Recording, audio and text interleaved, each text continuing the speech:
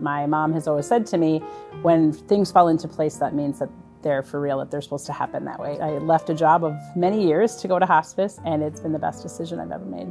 The fact that people are allowing us to come into their home and to travel that journey with families is so precious. We were able to, um, just the other evening, bless a family with a concert from Sarah and her band.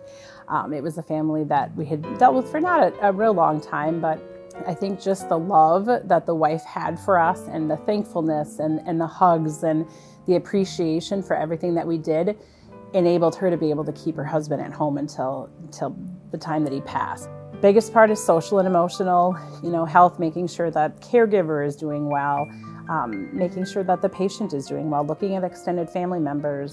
And I just think that's the best part has been for me is meeting all sorts of different people from all sorts of different backgrounds and um, have developed friendships with people after because we were there for them at such a, um, a, a difficult part of their life.